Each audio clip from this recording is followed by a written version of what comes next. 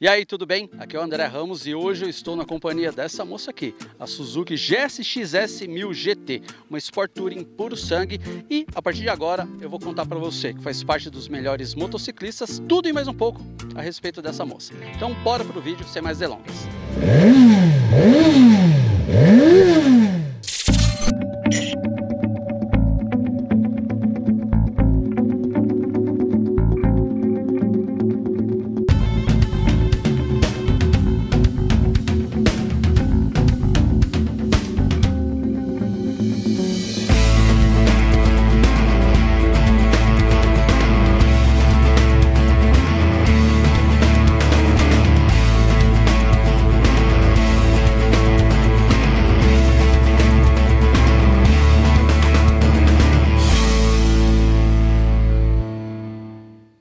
A GSX S1000 GT é uma motocicleta que faz parte da categoria Sport Touring.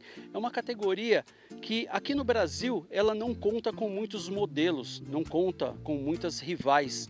Então ela praticamente vai concorrer com a Kawasaki Versys 1000 GT, vai concorrer com a R1250 RT da BMW, mas enfim, são pouquíssimas as motocicletas dentro desse universo e a gente vai falar um pouco a respeito das características das motocicletas que habitam esse segmento.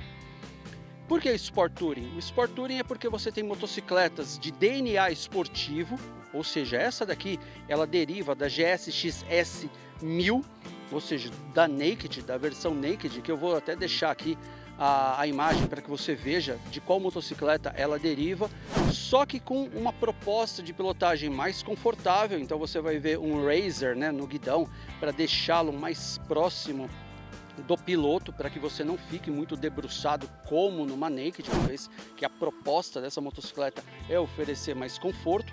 Além disso, você tem regulagens eletrônicas que são aplicadas ao motor para que as respostas de torque e de potência sejam mais equilibradas, para que a motocicleta não seja tão esperta, tão agressiva, tão rápida nas respostas do acelerador, principalmente de baixas para médias rotações, uma vez que você precisa ter essa resposta mais tranquila, né, numa condução mais estrada, onde você não está ali, sabe, agressivamente atacando as curvas. Porém, a partir de 6, 7 mil giros, você vai encontrar todo o fôlego, todo o vigor desse motor despejando ali os 152 cavalos e os 10 kg de torque. Além disso, para destacar, você tem aqui já de linha, né, de série, as duas malas rígidas que oferecem bastante espaço para armazenamento de bagagem. Pro garupa, as alças para que ele consiga encontrar bastante fixação e além disso, você tem um assento que acomoda bem junto com a pedaleira do garupa, oferecendo um triângulo de pilotagem bastante relaxado. E falando nisso, né, nesse triângulo, eu vou montar aqui na motocicleta para você ver como que aqui ó, eu fico relaxadamente em cima da motocicleta com os braços levemente arqueados, que é o adequado, né? As pernas, elas encontram bastante apoio aqui, tanto junto ao tanque como também na pedaleira. Então, e fechando esse pacote, você tem ainda essa bolha que vai conferir aí uma proteção aerodinâmica bastante relevante, algo que é muito importante, esse desvio do vento em situações de estrada em que você fica horas e horas e horas pilotando e que isso aqui ao final do dia vai fazer a diferença. Vamos falar agora um pouco a respeito desse painel, um painel em TFT maravilhoso que combina muito com a proposta da motocicleta, um painel em TFT colorido em que você tem aí uma ampla visibilidade em qualquer condição, seja diurna ou noturna, e as informações elas aparecem de uma maneira muito clara. Então, você tem aqui esse velocímetro que ele o ponteiro ele simula, né, um ponteiro aqui, mas tudo nele é digital, né? Tudo é em, em TFT e apresenta cores muito vívidas, um contraste bastante relevante, principalmente no uso diurno da motocicleta. E aqui a gente tem as informações, além daqui do velocímetro, contagiros e marcador de combustível, a gente tem aqui na parte inferior algumas informações referentes a consumo, bateria, autonomia da motocicleta, temperatura ambiente, ó, tá bem quente agora, hein? Aqui a gente tem o tempo de ride, né, o tempo que a gente está andando, velocidade média, enfim, é muito completo mesmo esse painel. E aqui na parte superior do canto direito, nós temos aqui os driving modes, então você tem três modos de pilotagem aqui, né? A, B e C. Vamos ali agora para o outro modo. Controle de tração. Então a gente tem aqui ó, cinco modos de controle de tração, mais o desligado que eu acabei de mostrar ali, que é o off. Então, quanto maior esse número aqui, maior a intervenção da eletrônica sobre a roda traseira. Ou seja, ele vai detectando de, cada, é, de maneira cada vez mais fina o destracionamento, quanto maior essa intervenção aqui. E além disso, a gente tem aqui ó, o Quick Shifter, ou seja, o que é o Quick Shifter? É o sistema que permite a troca de marchas sem o uso da embreagem. Então aqui a gente está vendo aqui no modo ON, mas eu posso simplesmente vir aqui e desabilitar. Está no modo off. Agora eu não tenho mais o Quick Shifter acionado, eu só vou trocar marchas usando então a embreagem. Mas eu não gosto desse modo até porque é muito mais divertido. E além disso, eu estava me esquecendo de um item muito importante, que é o que você entra nas configurações do painel. Então aqui, ó, ele permite com que você conecte o teu celular, você faça o pareamento do teu celular com o painel de modo que ele vai exibir a tela do seu celular e principalmente o navegador. Isso daqui é muitíssimo importante quando você por exemplo, está indo para um lugar que você não conhece, ou então você está rodando por uma cidade como São Paulo, Rio de Janeiro, que são cidades onde você corre o risco de você estar com o celular no guidão e ver um bandido, vir um assaltante e levar o teu celular. Então, quando você está com a tela do seu celular espelhada no painel, isso é fundamental. Aí você tem aqui a Shift Light, onde você pode setar aqui a Shift Light, onde você quer que ela, que ela passe a ser acionada, né? Então aqui está no modo de piscar, é, você tem aqui a rotação, então onde você quer que ele comece a piscar, onde ele vá fazer o aviso né, do momento de troca de marcha, e aqui embaixo, esse sub, ele indica o momento em que ela vai começar a entrar na red zone, ou seja, no momento em que você tem que já estar tá preparado para fazer a troca. Aqui você tem um aviso né, de serviço, quando você tem que levar a motocicleta para fazer a sua revisão e aqui você tem uma série de outras informações como brilho, a opção de day and night, né, quando o painel ele muda do branco para o preto durante a noite, as unidades, enfim, é muita coisa que esse painel que oferece, você vai brincar bastante com ele. E além disso, fechando esse pack de eletrônica embarcada que a motocicleta apresenta, a gente tem o ABS habilitado para curvas. Esse é um recurso fantástico para a segurança do motociclista, porque esse sistema ele vai fazer a dosagem da força de frenagem aplicada tanto na roda dianteira como na traseira de uma maneira a que leve em consideração a inclinação e a velocidade da motocicleta.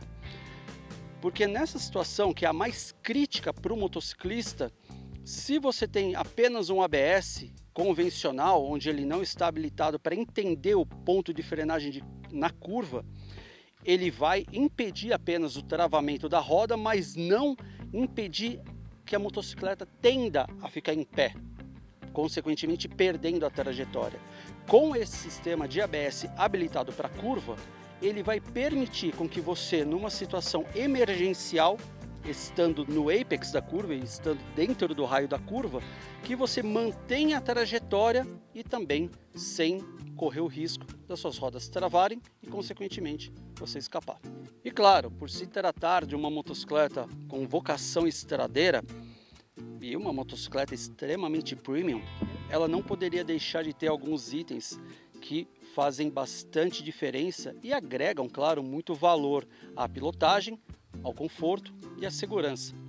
O primeiro deles é o Cruise Control, ou seja, você tem um recurso tal do piloto automático, onde você, a partir do momento que ativa o sistema, você consegue não apenas estabilizar uma velocidade, travar uma velocidade, mas sim você faz essa regulagem de velocidade tanto para mais quanto para menos através desses botões aqui no punho esquerdo.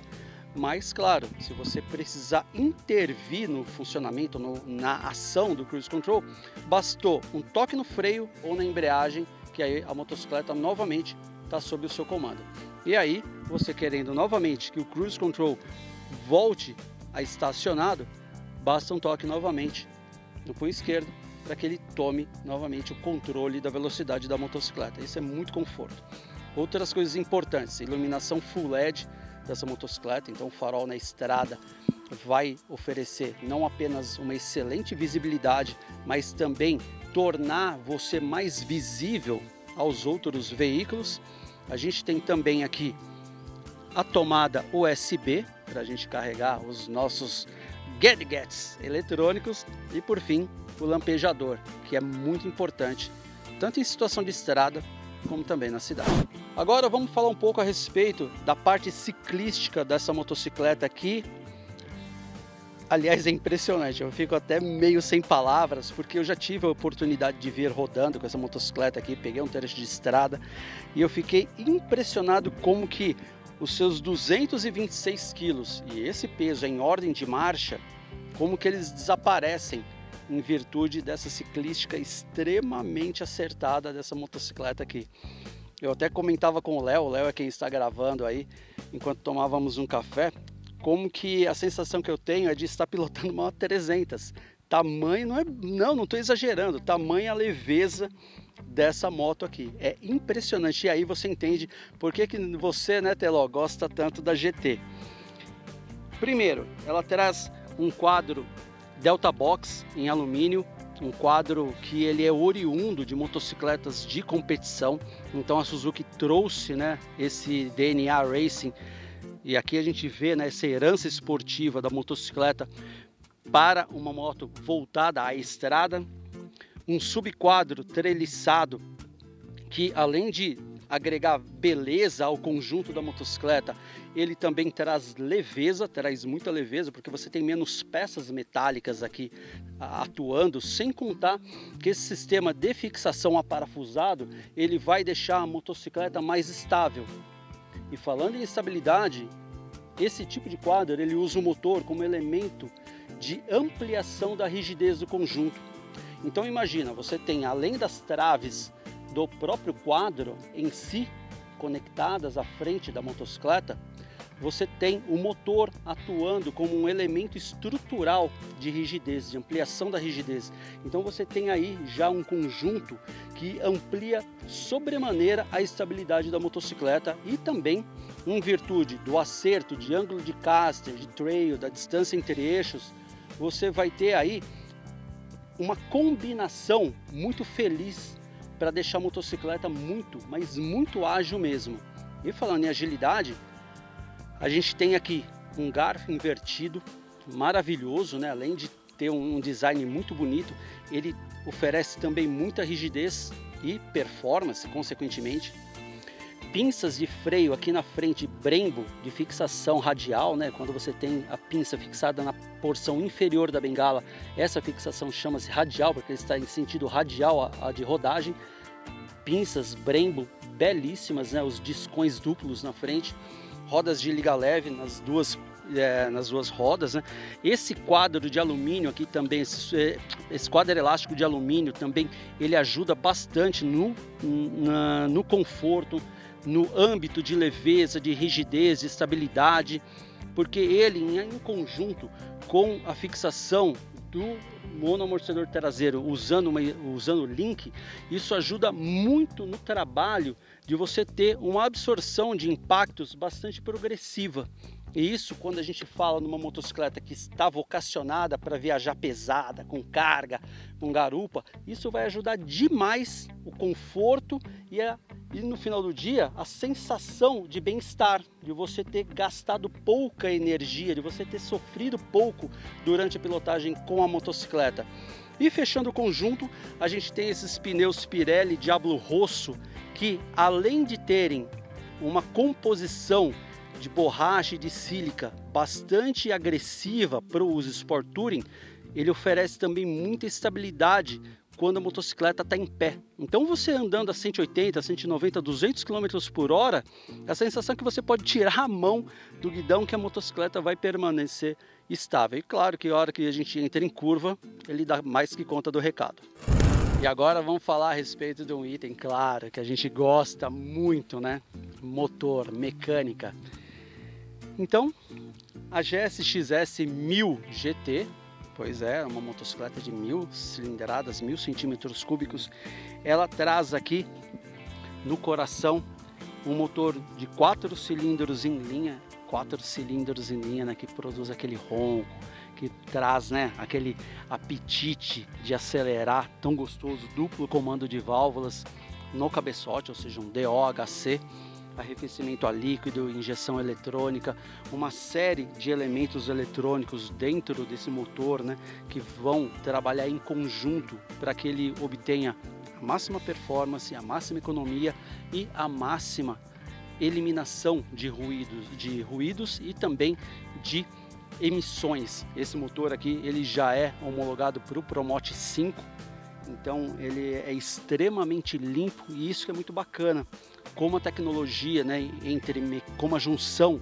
tecnológica entre mecânica e eletrônica contribui para chegar a resultados extremamente expressivos, combinando performance e essa relação amistosa, amigável com o meio ambiente.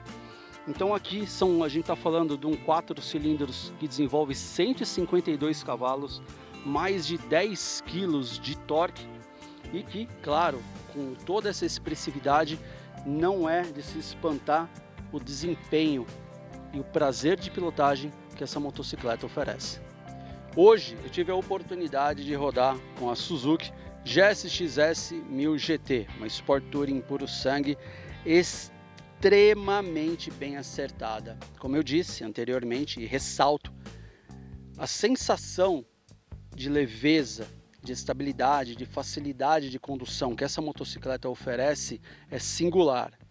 Não é babação de ovo, não é estar tá aqui puxando brasa em demasia para a marca e para a motocicleta, mas é porque eu de fato senti isso.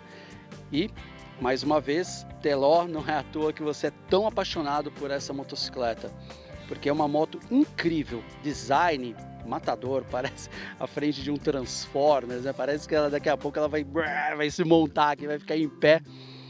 E além disso, com muita eletrônica que amplia sobremaneira a segurança, o conforto, a facilidade de condução, painel em TFT, quick shifter, que é uma delícia, né? Você tá operando a motocicleta sem precisar usar embreagem e além disso, aquele ronco, barulho né, do, do quick shifter entrando em ação, cortando a ignição da motocicleta no momento da troca, então ela dá aquela, aquele estouro, né? Então é demais, enfim, extremamente estável, ágil demais, um centro de gravidade muito bem equacionado, as malas que já vêm, e claro, se você vai usar a moto no seu day by day, e ela vai super de boa também para isso, você pode sacar as malas para você ter mais desenvoltura para trafegar pelos espaços mais apertados da, da cidade, né, como nos corredores. Enfim, um produto muito legal, muito assim, é, não é à toa que é, é, uma motocicleta que rende tantos elogios da mídia especializada, dos meus colegas que já tiveram a oportunidade de andar com ela, mas eu tenho certeza que se você tiver essa possibilidade, você vai estar comprando uma moto excelente. Muito obrigado por você ter ficado comigo até este momento. Eu sou André Ramos, aqui na produção. Obrigado também aos meus parceiros de trabalho, Leozinho Vincenzo, Laertes Torres e até o próximo vídeo. E claro, aquele pedido final das três moraizinhas. Assina o nosso canal caso ainda não tenha feito. Deixe o seu like e compartilha com os seus amigos. E os seus comentários são sempre muito bem-vindos aqui abaixo. Fica com Deus, pilota com juízo, afinal de contas fazemos parte dos melhores motociclistas e sim, temos de dar o bom exemplo.